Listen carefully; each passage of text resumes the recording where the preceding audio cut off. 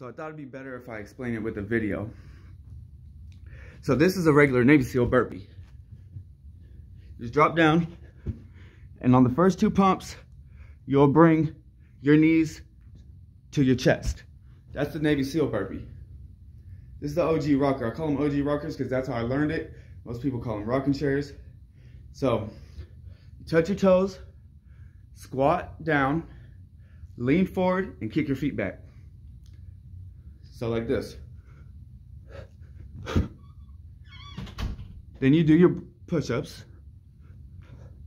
And on the way up, you know, we're gonna pop up and throw yourself backwards.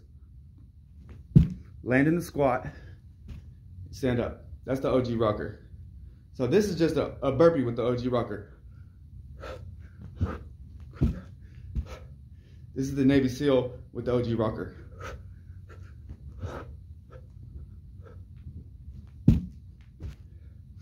I hope that made sense.